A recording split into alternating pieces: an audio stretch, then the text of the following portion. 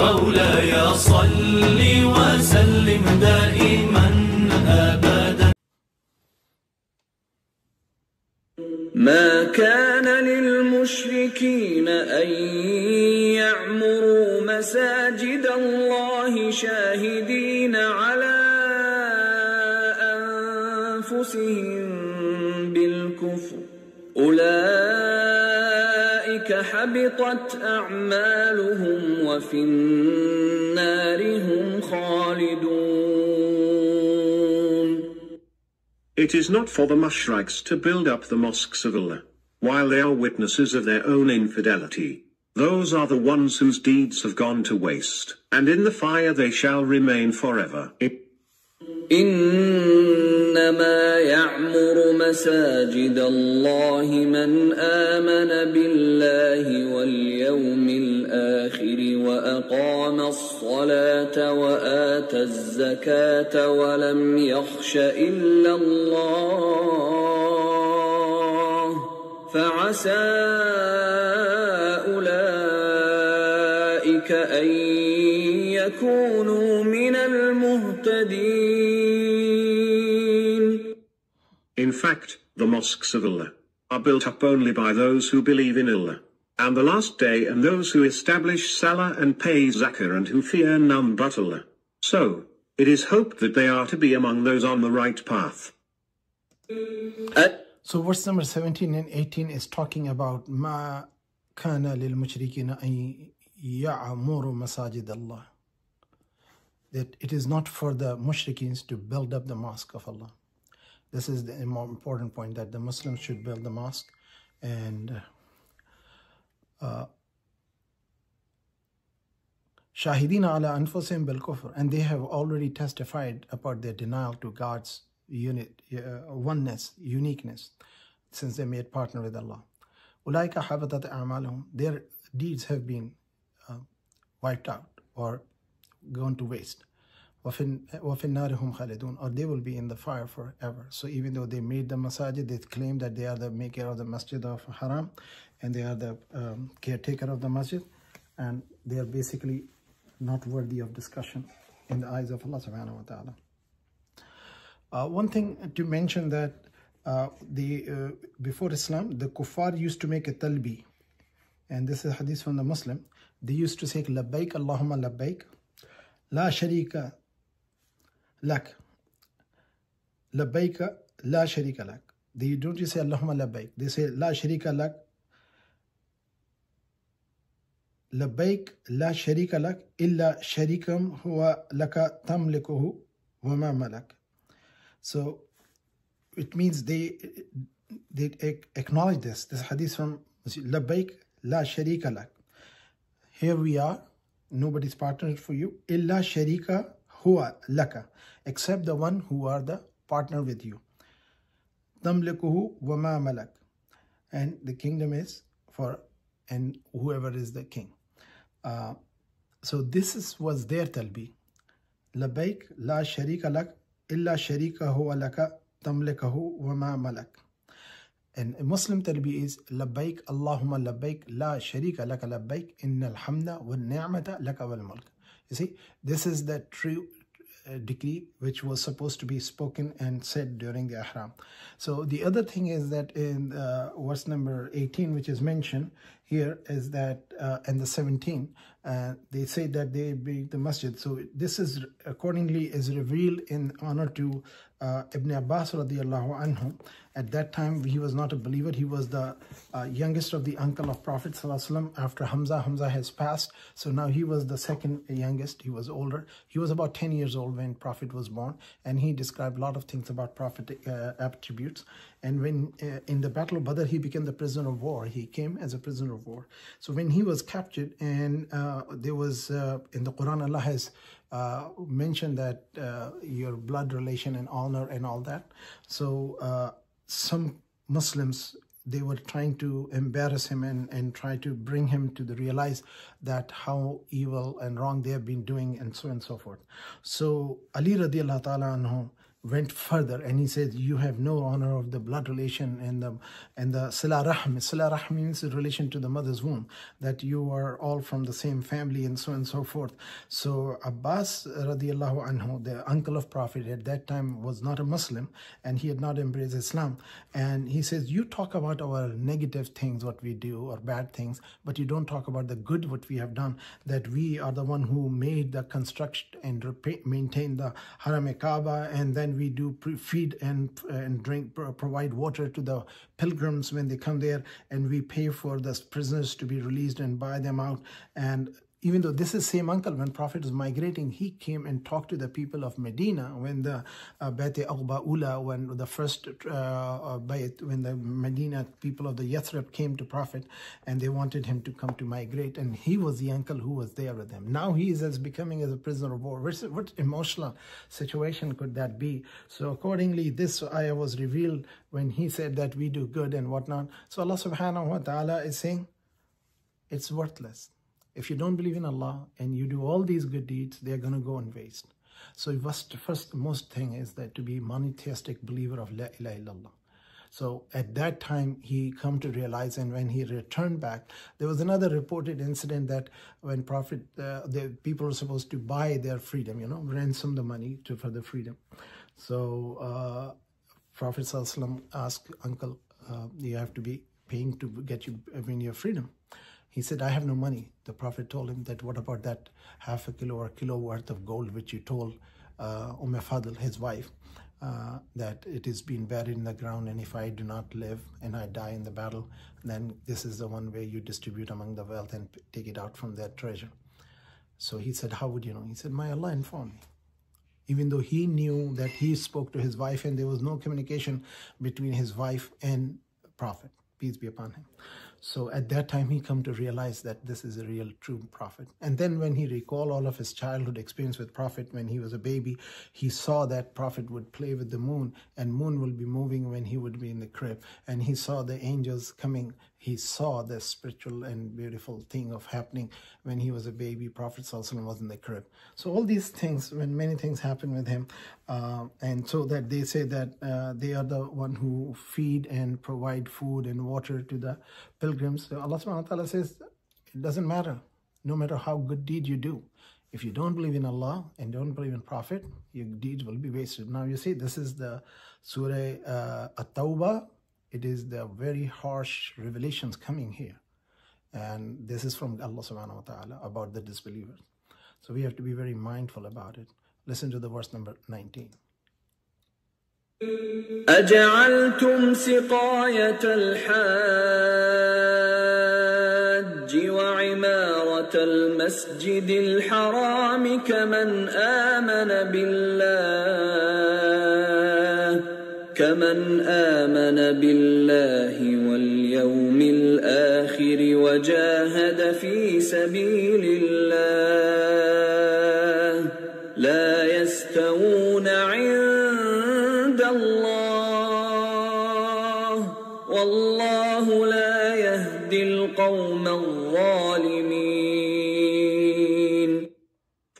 Have you taken the serving of water to the pilgrims and the maintenance of Al Masjidul Haram as equal to the acts of one who believes in Allah and in the last day and carries out jihad in the way of Allah?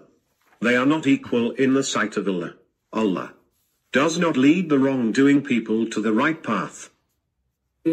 الذين آمنوا وهاجروا وجاهدوا في سبيل الله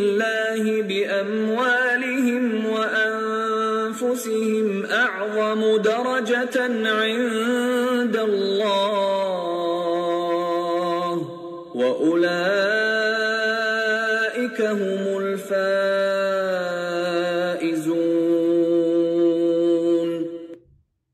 Those who believed and emigrated and carried out jihad in the way of Allah, with their wealth and lives are greater in rank in the sight of Allah, and it is they who are the successful. يبشرهم ربهم برحمة منه ورضوان وجنات وجنات لهم فيها نعيم مقيم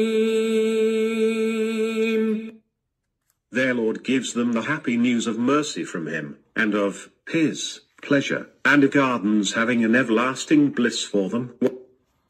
خالدين فيها أبدا إن الله عنده أجر عظيم where they shall dwell forever. Surely, it is Allah, with whom lies a great reward. Uh,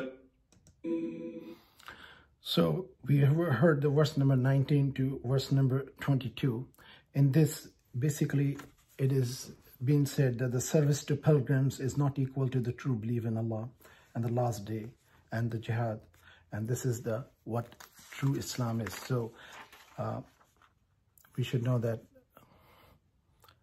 Salahuddin Ayyubi, he fought all his life against the Crusaders, but he did not have time to go for Hajj because he never had enough money or the time. So he was doing jihad to free the Palestine. Uh, so some people think uh, the more important thing is to serve the masjid and making pledges and so on and so forth. Uh, the main thing is to help the Muslims with whatever you can to protect them and be a believer. Being a believer and then doing this, you'll be having the reward which will be forever and ever. So this is where the return is that even if you are in Mecca and Kaaba and serving the Kaaba, taking care of Kaaba, but if you don't believe in it, it is not valuable in the eyes of Allah. Allah subhanahu wa ta'ala says you have to believe in and then do. Even a tiny little thing, even a thought of good is a blessing.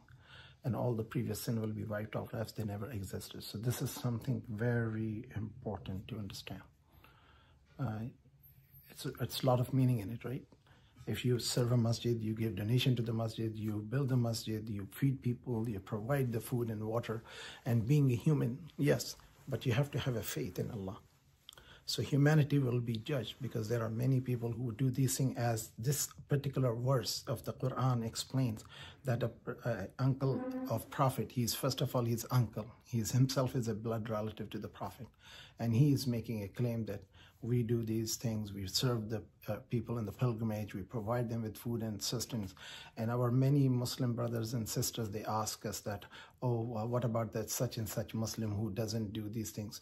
Not doing is a personal issue, individual but having a faith and doing it is that's what's going to be rewarded. So, what is the matter with those people who are in worldly life and they do the good deeds? What's supposed to be? So, according to what we understand, Allah subhanahu wa ta'ala gave them a good life in the world. When they believe in the world and they did the good for the world, they got it here. Those who believe in Allah and hereafter, so they will do good and they will get blessing here and hereafter. There are people who say ربنا آتنا في الدنيا وما له في الآخرة من خلاق ومنهم من يقولون ربنا آتنا في الدنيا حسنة وفي الآخرة حسنة وقنا عذاب النار أولئك لهم نصيب مما كسبوا والله سريع الحساب We can use this ayah to explain this a little bit. There are people who say, Oh Lord, give us everything in the world because they don't believe in hereafter and they don't believe in the day of judgment. So they will have nothing in the hereafter for them. But among the people who say, Oh Lord, give us here and in the hereafter. Rabbana atina fid dunya hasana, give us all the beautiful things and the blessings of the world and the hereafter and protect us from the hellfire. For them, this is for what they have earned. Means now they are serving the mankind, taking care of the people, take, feeding and uh, feeding a hungry, providing water to the thirsty, and giving uh, care for the poor and needy and, and orphans and uh, widowed and, and the Muslims who are in distress or anybody for that matter, even the creatures. So removing a thorn from the path as a believer with the thought that somebody might be hurt, which could be Muslim, non-Muslim, but you are a believer in doing out of belief in Allah subhanahu wa ta'ala, then it is blessing. So uh, this is where Allah subhanahu wa ta'ala have explained, and this uh, important thing that just being a caretaker of Kaaba, nobody could be more sacred place than the Kaaba in the Islamic world or Islamic belief. And saying that even if you are a disbeliever and doing service to the Kaaba and the pilgrimage for the Kaaba, you will have nothing and the hereafter. Here, yes, people thank you, people will give you gift, people will show gratitude. So many of our Muslim brothers says, well, people do this, this, this, they don't do that. So you need to understand Muslim matter is different than a non-Muslim matter, first of all. Number two is that if a Muslim who is more interested in serving people in the water and the Hajj compared to Salahuddin Ayyubi who was gone for jihad and did not even make Hajj because he never had enough money and he did not have time to go for Hajj. If he had left the place for the battlefield for the Hajj, there would have been a loss of Muslim army. So he never made a pilgrimage. So this is something to be understanding where the priority of a faithful lies. And we know what is going on in Gaza today, in Palestine. And it's been going on for almost 75 years. There's a suffering. There's a persecution. May Allah subhanahu wa ta'ala give them victory and protect them and all the Muslim Ummah and humanity. We ask for love and peace for whole humankind. So Allah, we pray that stop the oppressor and disbeliever and believer from doing the transgression and give the strength and courage and victory and protection to the oppressed one. This is our supplication. Let's listen to the verse number 23. يا أيها الذين آمنوا لا تتخذوا آباءكم وإخوانكم أولياء إن استحبوا الكفر على الإيمان ومن يتولهم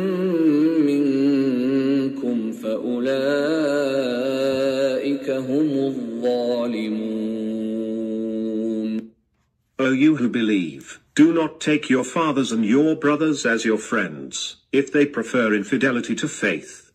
Those of you who have friendship with them are the wrongdoers. قل إن كان آباؤكم وأبناؤكم وإخوانكم وأزواجكم وعشيرتكم وأموال اقترفتموها وتجارة تخشون كسادها ومساكن ترضونها أحب إليكم من الله ورسوله وجهاد في سبيله فتربصوا حتى يأتي الله بأمره والله لا يهدي القوم الفاسقين Say, if your fathers and your sons and your brothers and your spouses and your clan and the wealth you have earned and the trade you apprehend will recede and the homes you like are dearer to you than Allah, and His Messenger and jihad in His way, then, wait until Allah comes with his command. Allah does not lead the sinning people to the right path. So verse number uh, 20, uh, so 19 to, uh, sorry, 20, uh, 23 to 24, these are the two verses. Uh, this revelation came in, in the reference when Prophet ﷺ commanded and Allah's permission came in that Muslims should immigrate from Mecca to Medina. So they were Muslims who had a wife, children, parents, brothers, sisters, and they were the closest of the relative and their business and their, their all the valuables were there. So uh, Allah subhanahu wa ta'ala sent this revelation because these people, when they came to learn that our child is who is Muslim now has to immigrate to Medina, so they asked them that do not leave us alone, what we'll do without you, and so on and so forth. And their heart were becoming troubled, which is very difficult part. You know, when you travel, leaving your home, and you never know it'll be ever coming back or not, because now I'm a Muslim and you are non-Muslim. So this is for those who are departing as a faithful, and the half family is Muslim, half is not Muslim, especially when you're a spouse and your children. Allah subhanahu wa ta'ala says, Ya amanu la tatakhazu. O you who believe, do not take your fathers, abawkum wa ikhwanakum, your brother, awliya, in anistahabbu al-kufra ala al-iman. If they love infidelity or not believing to the faith. And whoever among you who turn away the command of Allah over blood relative, everybody die. Nothing is going to left forever. So the beloved parents, beloved children, beloved brother, sisters and family, friends, all these going to leave. So then further revelation came in. Qul, say, O messenger, O beloved, in Kana, if you if your aba'ukum, your forefathers, wa abna'ukum, your sons, wa ikhwanakum, abna means children's wife and uh, uh children, sons and daughters, wa ikhwanakum, and your brothers, wa azwajukum, and your spouses, وعشيرتكم and your closest relative brothers and sisters وأموال من اقترفتموها and the wealth which you have earned وتجارة تخشونها كسادها that your trade and business wealth that you have a fear of loss ومساكن ترضونها and your home which you love most you know nobody loves any place other than home أحب beloved to you إليكم upon you so أحب إليكم ترضونها عليكم مساكن ترضونها عليكم you see how many things آباؤكم أبناؤكم إخوانكم وأزواجكم وعشيرتكم وأموال أموال من اقترفتموها وتجارة تخشونها كسادها ومساكن ترضاها ترضونها Eight items Allah has enumerated. There's nothing more beloved to person than these eight items. And they are more beloved to you than the love of Allah and His Messenger and His struggle and jihad in the path of Allah. Then be sitting where you are till the command of Allah comes to you. And Allah does not guide those who are disobedient. What is a fasiq? Fasiq is the one who understood, accept, believed, and practicing, and then he denied obedience to command of Allah and His Messenger. With this, we will stop here today. Verse number 24.